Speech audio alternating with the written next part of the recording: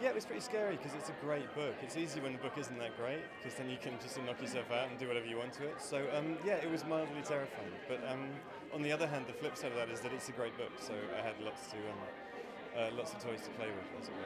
And it's a quintessentially British It story. is, but yes. It's obviously an American Yes, star. So yes. tell me about the casting of Dakota. Did you ever have any kind of worries about casting an American in, in that role? It wasn't something I was expecting to do, but I was in Los Angeles anyway. My wife was working out there, so I was there, and I got a call that she'd. I mean, we hadn't sent it to her. I got a call that she'd read it and wanted to and loved it and wanted to meet. So I went to meet her, and within you'll meet her within seconds. It was very clear that she would be amazing. So any worries that I might have had were blown out the water.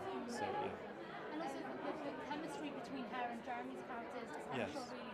It in is. terms of casting him, because obviously he's quite new to, to this whole movie business. He is new to the, yeah, but he started big, so I figured we were okay. I mean, we cast. I think we cast him just before he started Warhorse, um, but he was. It's clear again when you meet him. It's reasonably clear.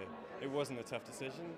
He waltzed into the room. He's insanely handsome, and he's a brilliant actor. And so, um, yeah, it was a pretty easy call for me. I got very lucky, basically. You can claim that you discovered him first then. I can't claim anything at all. I can claim nothing. I can claim nothing but good fortune. Is all I can claim. Yeah, Great, thank you very much. it's a pleasure. It's nice to talk to you. Hello. Hello. Lovely to meet you, Katie Hi, nice to from. Getty. Hi, Hello. Um, you have a bit of a drink. Excuse me. Just letting you have a bit of a drink. It's Oh, important thanks. to hydrate. It's quite warm today. Rise anything. I'm terrified. This is a scary one for me. This is uh, So yeah. can I just ask, can you just tell us about Yes. the kind of journey that the audience is taking on? It's not, it is obviously a weepy, but there are some kind of comedic moments as well in the Well, I hope so. You've got to relent a bit. It's not a kind of just a slow, depressing journey towards an inevitable death. Otherwise, I wouldn't go and see that, and I wouldn't expect anyone else to. So, um, yeah, no. The idea was to try and write something genuinely uplifting. I think there's an extraordinary energy about the way that, that Tessa, the heroine, lives her life in the short time that she has, and there's an intensity about that that brings with it, hopefully, thrills and laughs, and hopefully, that's the plan. Now, were obviously fantastic in this film. Yes. But why wasn't maybe a British actor? Have you seen it, or are you just No. you're just guessing? Well, no, she is amazing. Oh, great. it. Did you see it? yeah. Oh, did you so like it? Good.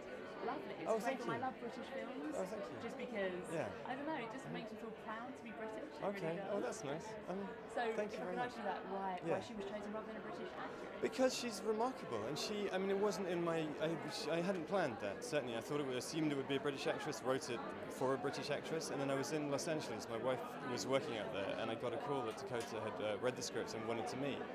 And so I was like, okay, well, that's not quite, but that's interesting. And I went to meet him within two minutes. It was like, oh, God, you'd be amazing. So we should be so lucky. So, um, yeah, it wasn't the plan, but then, you know, I'd be a fool not to. So, um, yeah, she's great. So what was it like filming, you know, in Brighton? Fantastic. Fantastic. Knockout fun. We just had it. We, I mean, weirdly, paradoxically, we laughed all the way through it. We had a really good time making it. It wasn't the kind of, as hopefully it will be to watch it, the incredibly gloomy experience it might have been. It was. We had a superb time. Thank you so much. Thank you.